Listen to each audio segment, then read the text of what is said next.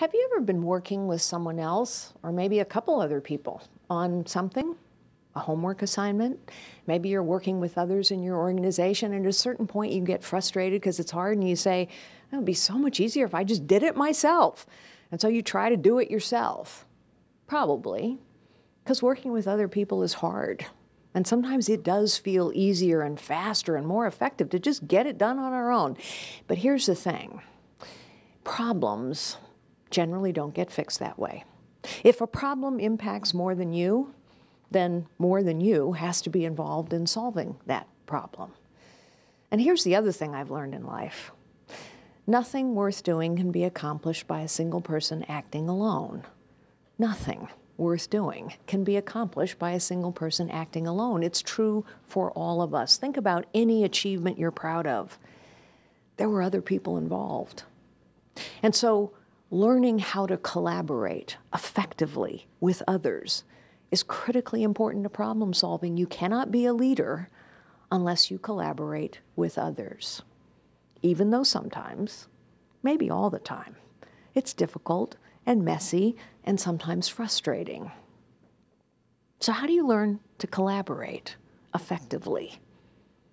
There are two things that are vital to collaboration, which is vital to problem solving, and therefore two qualities that all leaders must have humility and empathy. Humility. What is that? Humility doesn't mean false modesty. It doesn't mean hiding your light under a bushel. It doesn't mean saying, oh, no, not me, I can't do that. But humility is understanding that you can't do it all by yourself. Humility is knowing you don't know it all. Humility is understanding that maybe you need other people. Humility is understanding that you're not perfect, that you don't get it right all the time, that you don't have all the answers. And unless you are humble, then you're never going to be able to hear anyone else with whom you are collaborating. If you think you know it all, then why should you pay any attention to anybody else?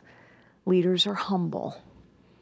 And sometimes that sounds counterintuitive because if we think of a leader as someone with a big title or a big position, a lot of times those people aren't very humble. They got big egos to go along with their big titles. Then they're not a leader, despite their title. Humility is required for effective collaboration. So is empathy. I think we lack a lot of empathy today. I think in our culture today, we judge so quickly we judge so harshly. And I think sometimes our technology makes that all worse because we get on our devices and we see somebody who's not in our tribe or not in our pack or doesn't agree with us and we judge them. That's not empathy. Empathy is the ability to actually see and hear someone else, to see past their circumstances to see past their appearance, to see past, perhaps, their political affiliation, their religion, the team they're on, to see past all that and to be able to actually see a person who has something to contribute, who is where they are for a reason. Empathy is the ability to see and hear someone else. And when you combine the humility that understands, yes, I have much to contribute, but others have much to contribute as well, with the empathy that allows you to actually hear and see someone else's contribution, now you're on your way to effective collaboration. So now you have a problem. You've identified the problem. You are on your way to effectively collaborating with others who agree with you that it is a problem.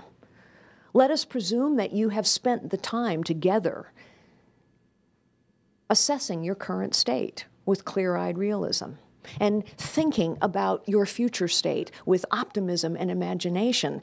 Now what? Well, I've learned in my life and in my experience that once again, to actually make progress from the current state to the future state, you have to have a systematic disciplined approach. And I've also learned that the more complicated the problem is that you're taking on, the more likely it is that you might forget something along the way. And so I devised a tool a long time ago that would help me maintain discipline, that would keep me on the path from current state to future state, and that wouldn't let me forget anything. Because sometimes we could get overwhelmed by the complexity of the problem in front of us. Or sometimes, when we get overwhelmed, we just go back to what we know well. I'll pause and tell you a very brief story, an analogy, if you will. I don't know if you know much about Spanish bullfighting, but in um, bullfighting, there is a term called querencia. The querencia is a spot in the ring that every bull stakes out in the fight. Every bull has a particular querencia, a particular spot in the ring to which they will return. And it is, among other things, the matador and the toreador's job to figure out what is that querencia, where is that spot. The bull, as the fight ensues, as the bull feels more and more threatened, he retreats more and more often to his querencia. And while he retreats to his spot where he feels safe, in fact, he is becoming more and more vulnerable because he's more and more predictable. People have querencias also. We all have places that we retreat to, habits that we rely upon, people we go rushing back to. We go back into our comfort zone, we might call it. And that's the other reason why I developed the leadership framework. The leadership framework helps me, and I think it will help you, take a systematic, disciplined approach. The leadership framework, I think, helps ensure that we don't forget anything along the way, particularly when we're overwhelmed by something that seems complicated and a little tougher than we thought it might be when we tackled it in the first place. And the leadership framework also helps me, and I think it will help you, not fall into the trap of just doing the things I'm best at. Sometimes we want to do over and over again the things we're good at, and we leave off the things that we need to do. In an organization, that querencia, by the way, is frequently reorganizing. How many times in any organization, a school, a business, have you seen people reorganize like all the time? And the reason people reorganize so often is not necessarily because it's the best solution to the problem, it's because they know how to do that. Organizations know how to say, you're the boss, and here's the line of command. Everybody knows how to do that. It's comfortable, but it may not solve the problem. So, the leadership framework. I call it a framework because literally it's shaped like a frame, like a picture frame, four sides. At the very top of that leadership framework, we start with goals. What are our goals? What are we trying to achieve? What's the future state we're going for? And once again, you're not surprised to hear me say, we write it down. We write it down so that we all agree on it. How often have you sat down with a group of colleagues to solve a problem or make progress on something, and halfway through you realize we don't agree on where we're going? That happens all the time. People have different views in their heads of what are our goals, what's our future state. So get clear, get crystal clear. What is our future state? What are our goals? What are we trying to achieve? We always start with where we're trying to go. On another side of the frame, what in an organizational setting you would call structure and process, what in a personal context you would say, who's going to do what? Who's going to do what? Whether your team is a small group of colleagues and friends and you're focused on a problem right in front of you, or you're in an organization, the point is there has to be some clarity about who is going to do what in order to achieve goals. Have you ever watched little kids play soccer? If you've ever watched little kids play soccer, you know that what happens when they're starting to learn the game is they all swarm the ball.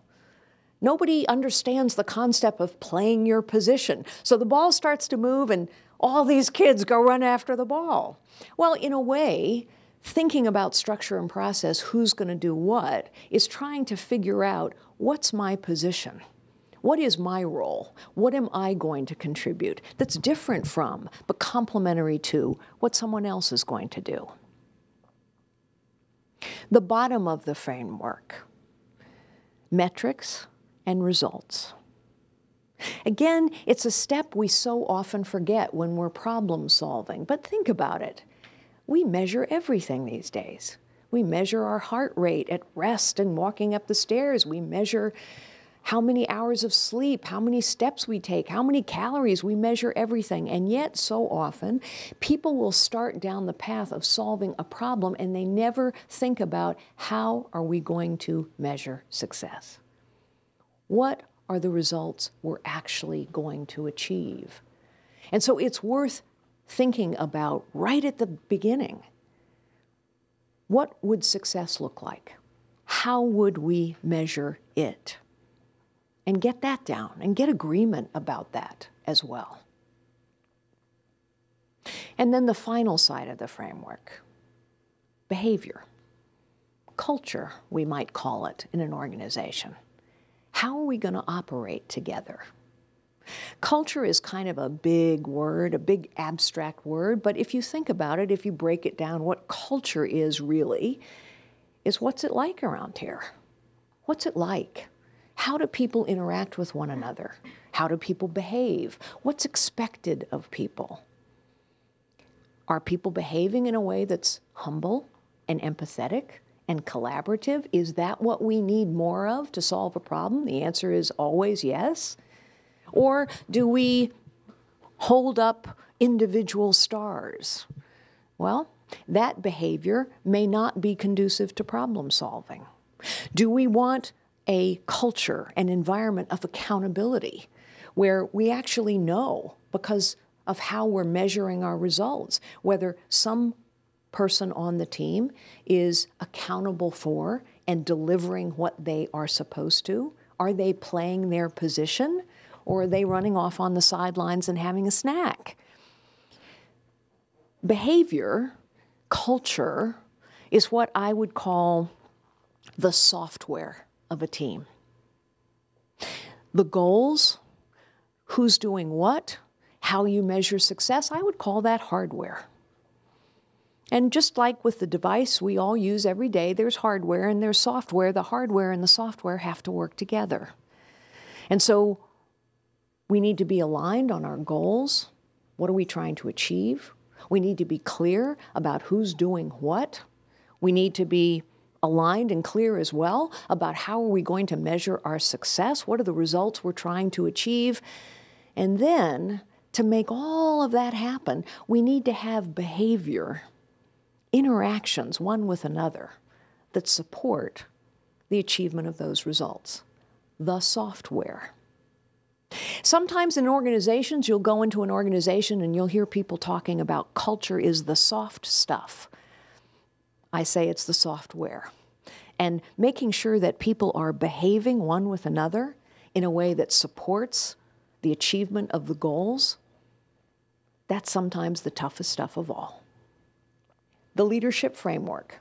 It's a relatively simple tool, but it's a tool that ensures that we take a disciplined, systematic approach, that we don't get overwhelmed by the complexity of what's in front of us, that we don't forget anything, that we don't run to our querencia, to our comfort zone, and do the same things over and over again instead of all the things that are required.